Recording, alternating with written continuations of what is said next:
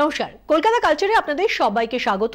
আমি শর্মিষ্ঠা, আপনাদের সবাইকে স্বাগত জানিয়ে শুরু করব আজকের অনুষ্ঠান। আর আজ আমাদের স্টুডিওতে রয়েছেন মনোময় ভট্টাচার্য। কারণটা খুবই ইতিমধ্যেই সবাই জেনে গেছেন, আগামীকাল বারো তারিখ মনোময়দার জীবনের কুড়ি বছর, সংগীত জীবনের কুড়ি বছর পূর্তি উপলক্ষে একটি বিশেষ অনুষ্ঠান হতে চলেছে আইসিসিআরে সংগীত জীবনের কুড়ি বছর মানে অনেকটা সময় দেখে ফেলা।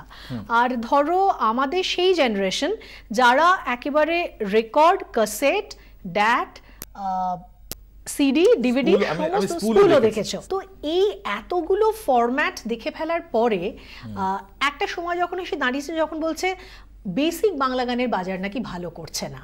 অথচ এই কারণেই বলছি এই বছরটা একটা ল্যান্ডমার্ক ইয়ার যে তোমাদের মতন শিল্পীরা তারা অনেকেই এই বছরটা কুড়ি বছর ছুটছে কুড়ি বছর স্পর্শ করছে। তো কি রকম ফিলিং মনে হয় দেয় দুটো দশক ধরে? হ্যাঁ গান বাজনার ফরম্যাটটা চেঞ্জ হয়েছে অবভিয়াসলি আসলে বাজার ভাবলে বাজার। মানে বাজারে কি নিল কি খেলো কি মানে যেই টার্মসগুলো আমরা ইউজ করি সেটা কোনোদিনই আমি সেইভাবে দেখিনি। ইনফ্যাক্ট আমি কোনোদিন র্যাট রেস মানে এতে মধ্যে নেই আর হ্যাঁ। মানে আমি আমার মতন গান গেয়ে গেছি। তো এই গান গাইতে গাইতে কুড়িটা বছর হয়ে গেছে আর কি। পরিবর্তন বলতে যেটা হচ্ছে যে এখন গান বাজনার যে স্ট্রাকচারটা মানে আগে যেমন আমরা একটু বৈঠকি গান করতে ভালোবাসতাম মানে যেখানে একটু হারমোনিয়াম তবলা মানে প্রধান গান ছিল। সেই স্ট্রাকচারটা চেঞ্জ হয়েছে। মানে গান বাজনাটা অনেকদিনই বদলে বাজনা গান হয়েছে। হ্যাঁ ঠিকই বলেছ। এখন বাজনা গানের মধ্যেও চেষ্টা করি যতটা সম্ভব লিরিক ভ্যালু বা সুরের বৈচিত্র্য যাতে থাকে একটা অ্যালবামে। সেইভাবে বেসিক গান গাওয়ার চেষ্টা করেছি। কিছু গান মানুষের ভালো লেগেছে। কিছু গান আবার অনেক ভালো গান মানে ততটা ভালো গান গ্রাহ্য হয়নি। ততটা গ্রাহ্য হয়নি সেটা কিন্তু ওভার তুমি যদি তোমার আগের শিল্পীদেরও দেখো তাদেরও আমি সারা জীবনের ক্ষেত শুনে গেছি যে অনেক ভালো গান শ্রোতারা নেননি দেখো মিডিয়া কিন্তু গান বাজনাকে বরাবর সাপোর্ট করে এসছে এবং সেই সাপোর্ট মিডিয়ার যে গানটাকে বেশি মানে পপুলারাইজ করেছে বা শুনি শুনিয়েছে সেই গানগুলোই বেশি মানুষের কাছে গিয়ে পৌঁছেছে। এই পয়েন্টে আমি বলি যেহেতু তোমার একক সেহেতু তোমার হাতে তো স্কোপ আছে তুমি যা চাও তা গাইতে পারো। তুমি আজকের এই অনুষ্ঠানে তোমার মনের সেই ক্ষেত থেকে এমন একটা গান শোনাও তোমার এমন একটা গান যেটা মনে হয়েছিল অনেক বেশি হিট হলে ভালো হতো। এসো এসো এসে দেখো হৃদয়ের পারে যতনে সাজিয়ে রেখেছি তোমায় আমারে ঘরে।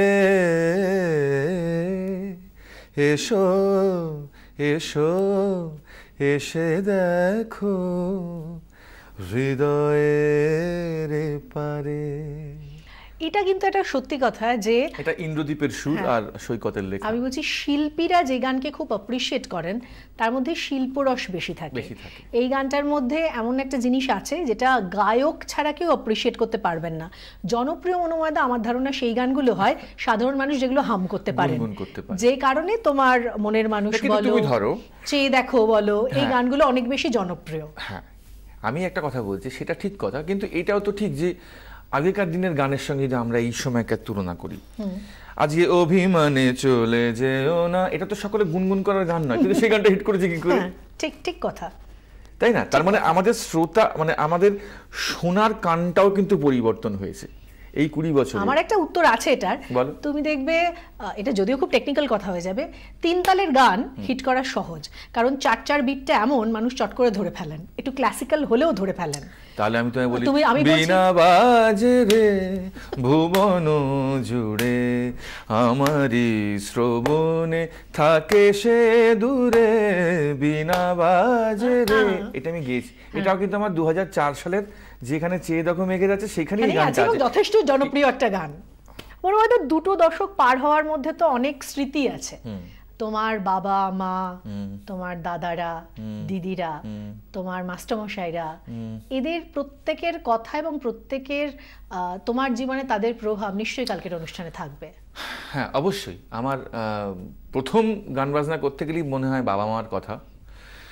যারা অক্লান্ত পরিশ্রম করে আমাকে গান বাজনা শিখিয়েছেন আমার বাবা শিক্ষক ছিলেন। তার হাত ধরে ছোটোবেলায় হাত ধরে তোমার আমার তখন ন বছর বয়স।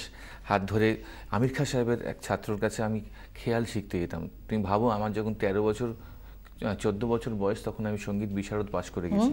হুম। তো তখন থেকেই আমার ইয়ে বাবার হাত ধরে গান শিখতে যাওয়া বাবার কাছে রবীন্দ্রনাথ ঠাকুরের গান শেখা। আমার মা অনেক স্যাক্রিফাইস করেছেন তার তারও কিন্তু অনেক সুন্দর সুন্দর। তার গান এখনও মা যখন গায় কিন্তু এতটুকু নড়ে না, তো মা এইটটি ফাইভ ইয়ার্স তো মায়ের মনে পড়ে কোন স্মৃতিগুলো মনে পড়ে বলো তো? ধরো সকালবেলা ক্লাস করে ফিরছি বিকেল চারটে বেজে যেত কেন সকালবেলা প্রথম বিমানবাবুর কাছে গান শিখতে যেতাম শ্যামবাজারে। তখন তো ওলা উবের ছিল না।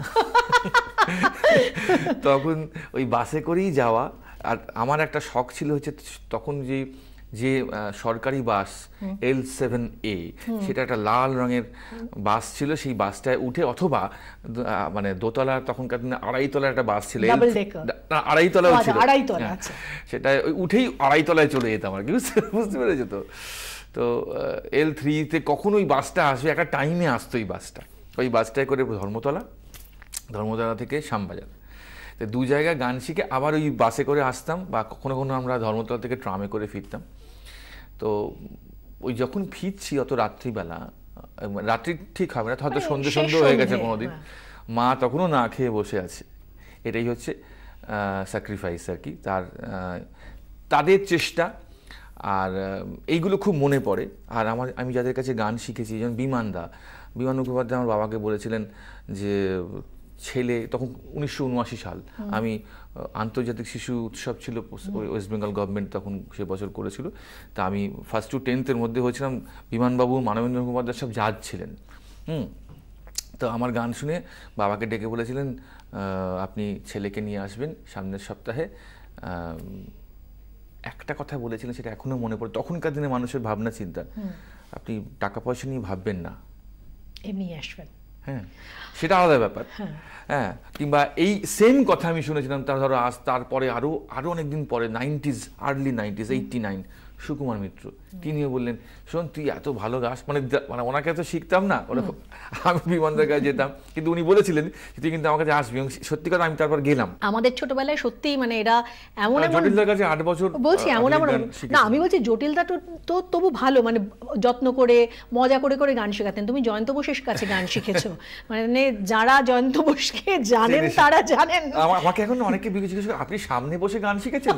আমি না এরকমও হয়েছে আমি ক্লাসে বসে হারমোনিয়াম বুঝিয়ে দাদার গান গাইছি দাদা ওর সঙ্গে আমার সঙ্গে তবলা বাজিয়েছেন। হ্যাঁ কঠিন ব্যাপার। বুঝতে পারছ? এবং আমার তখন কি অবস্থা? তখন আমার মনে হচ্ছে এখান থেকে এই অবধি কিছু নেই এখনও সেটা হয় কিন্তু। আচ্ছা আমরা বিরতিতে যাব। প্রসঙ্গ যখন উঠল একটা কঠিন গান শুনি জয়ন্ত তার একটা কম্পোজিশন দু লাইন শোনাও। স্বপ্ন শুধু ফিরিয়ে আনে একটি চেনা মুখে। স্মৃতি শুধু ফিরিয়ে আনে পুরানো সেই সুখে। ভুলে যেতে চাই তবু ভোলা তারে যায় না। ভুলে যেতে চাই তবু ভোলা তারে যায় না।